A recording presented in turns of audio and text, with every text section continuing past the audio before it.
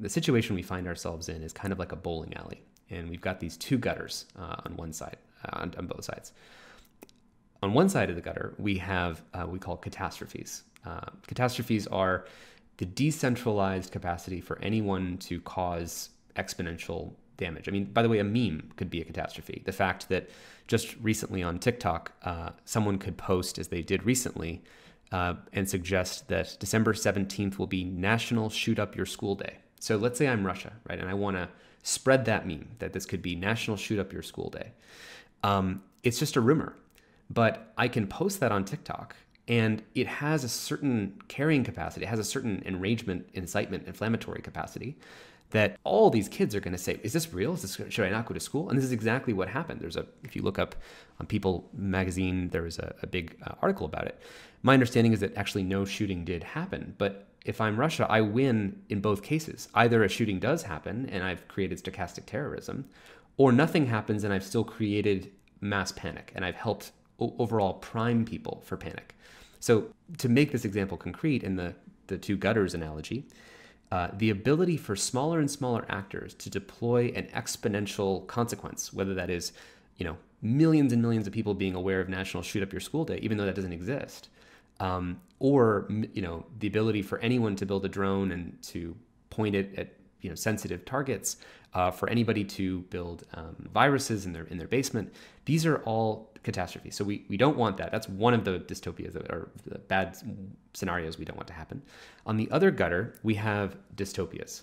Dystopias are surveillance states that are basically monitoring the use of all of these dangerous technologies because of course you're going to need to have regulations. You're going to need to say well maybe we should make sure people don't post these uh, rumors about national shoot up your, your school day or we should make sure that we regulate who can get a genomic uh, you know desktop uh, gene compiler on their on their on their desktop computer or who can access crispr or maybe we should regulate who can buy drones.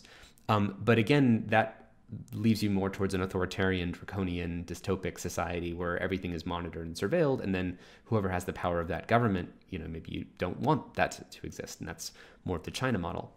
So, and those, each of those gutters are getting bigger. I think it's important to say. So, we have on the catastrophe side, we have more and more technologies that make up decentralized capacities to to create a catastrophe or chaos, and on the other side, governments that are able to, with sur- surveillance at scale, uh, take up and monitor more and more space uh, on that other side. And so, when we've articulated on this podcast in the past that we're looking to sort of find this thin little runway in the bowling alley, which is getting smaller and smaller every day, of what is a digital open society that recognizes the acceleration of these decentralized tech you know, capacities that are, that are being built into society and put into more and more hands and on the other side, making sure we don't create um, a kind of closed or authoritarian or surveillance uh, state.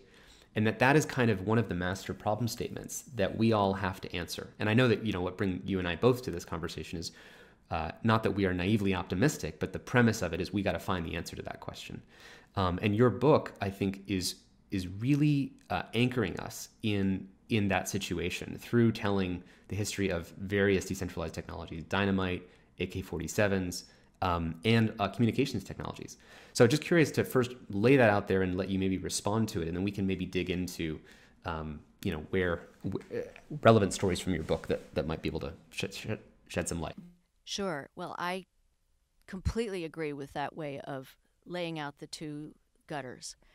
And one of the things I was very worried about in writing this book, and actually before I began to write it, uh, I don't believe in being an alarmist. I've been studying counterterrorism for decades, and I've always tried to find the way out or the, the solution to the problem or the more strategic perspective. And yet, by talking about the chaotic side, the gutter that is all about how these technologies are used, and clusters of technologies in particular, I mean, you, you put that extremely well, Tristan. It's not just an individual te- technology like facial recognition technology, it's also how do you then use uh, all the other technologies that feed in with it, from drones to uh, autonomy and and and um, everything that's demonstrated in slaughterbots, but lots of other examples too. So how do you talk about that without having everybody go immediately to the other gutter, which is about put in place a surveillance society? You know, I, I don't want to be justifying here moving from one gutter to the other gutter That's not what the story is. It's it is about how to find the middle way. You know, the Aristotle moderation and uh, the Romans would call it the via media. This is not a new problem. We need to find that moderation, that new way of governing. And I think it is possible to do it. But we're not focusing enough on both of the gutters, and in my case, particularly the catastrophic side, because there's already a major change in how conflict is unfolding. Not just individual conflict, like the increase in mass shootings in the United States, individual violence, really scary. Between 2010 and 2018, I think we've gone to an average of something like 21 active shooter incidents a, a year. I mean, it's just really horrifying Horrific. what's happened. And uh, you know, how do we go from from looking at the individual types of violence to understanding what's happening in a bigger picture? And there's this intersection between mobilization through social media and other forms of communication, increased reach, by which we can talk about uh, quadcopters and other types of projections of force. And then finally, systems integration, where you can use AI and other kinds of um, tools to, to give that kind of power, unprecedented power, to small groups. Let, us actually uh, dig into that because I think that, that framework of mobilization, reach, and systems integration, uh, that might sound like abstract topics for folks. I'd love to just break down exactly what you mean because it's almost kind of a a military sort of theory or military technology theory sort of view of the thing. So could you explain what you mean by mobilization uh, and uh, and reach and, and integration? Sure. Well, mobilization was one of the things that caused the nation state to come into being. I mean, you had with the French Revolution the levée en masse, which was basically conscription, which enabled Napoleon's armies to develop huge numbers of people on the battlefield. And that was the beginning of conscription and the extremely powerful numbers that were in the professional armies that went to war with each other in the First and Second World War. So mobilization was at the very heart of power for states.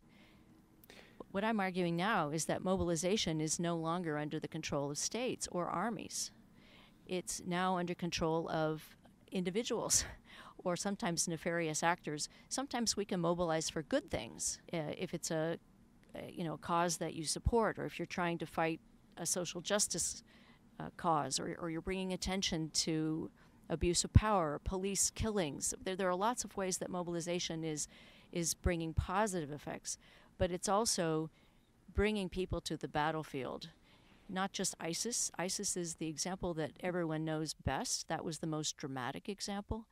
But we also see mobilization of people to carry out violence individually so you have the Christchurch shootings where that um, perpetrator was mobilized by what he had read on the internet, and then he used live streaming to mobilize others to follow him. And you can see a contagion effect of many other people copying what what people who have sent their messages out do. And we have an increase in violence, an increase in anger, an increase in the ideas that oftentimes lead to that violence.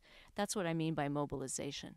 And social media, of course, is probably the key factor in all of that.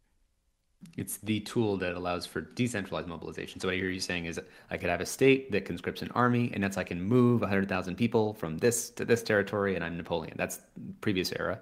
New era is I'm an ISIS terrorist in Afghanistan or Iraq, and I broadcast on Telegram channels, and I can get you know 5,000 people to move from Europe to Syria or something like that um, through propaganda. So that's that first piece of mobilization. So then the second piece of reach Reach is about the ability to project lethal force, and you can use um, a quadcopter that's got. Uh, I mean, it, it doesn't necessarily have to be extremely powerful. So you can attach a an explosive to a quadcopter and and send it over and into the uh, governor's compound in Kunduz in Afghanistan, which happened uh, about a year and a half ago. You can um, use explosives to have a kind of a leveraged effect. Remember that having an effect is not just having large numbers of people on a battlefield. It's also giving power to people who can have a political effect that's very targeted, and then they spread that political effect through the first factor, which is mobilization. So the ability to use reach through um, facial recognition technology, through algorithms, through AI, through um, technologies that formerly were only under the purview of an army through through capabilities that might only have been able to be used by an army. That's what we're seeing. That's the key thing that I, I got in reading, you know, this part of your book, which is, yeah, I mean, obviously an army could move, you know, projectiles from one part or have a missile that can shoot thousands of kilometers or something like that. But increasingly, we're decentralizing those capacities. And so more and more people have access to be able to, with a drone, say, just even that little bit, move something through time and space uh, within you know, thousand, uh, well, some some radius that's that's smaller. Um, and then the last thing you were talking about was uh, was autonomy and and integration with direction. Yes. Well, uh, as is you know well known. It's very difficult to integrate all of these technologies, and it used to be that you had to have a command center, you know, a national command center in order to do that. But now, because of um, the ability to download algorithms, the ability to integrate through um, AI techniques, you can actually have very complicated systems that are working well with each other. You don't have to rely on advanced highly trained human beings and the strong structures that states had before now. So it used to be that you had to have a national army for all three of those things. And now you've got, you know, the Houthis in Yemen and, and uh, you've got lots of non-state groups that are increasingly powerful and it's the leverage between these two. It's not that they can go toe to toe with the US military, but they don't have to. What's better is to operate under the radar, below the level of physical armed response, mm-hmm. and have a political impact that hollows things out from within. Yeah, completely. I mean, 9/11 would have could have only killed what 3,000 something people on that day, but then the use of that event to become propaganda to recruit many more people and to spread that and market target that into uh, other groups that can be ra- radicalized and recruit more people into bin Laden's, you know, Al Qaeda and ISIS networks and so on. So it's not just the number of people that are killed; it's the ability to enact power, to to use asymmetries of power in in a new way. Yes, and one thing that's kind of sobering to look at the difference between how Al Qaeda mobilized and how ISIS mobilized. When Al Qaeda tried to get followers, it was very worried about alienating them through showing too much violence, through having through attacks that might harm innocent civilians. They, they thought that that would cause a backlash and they wouldn't be able to continue to draw people to them.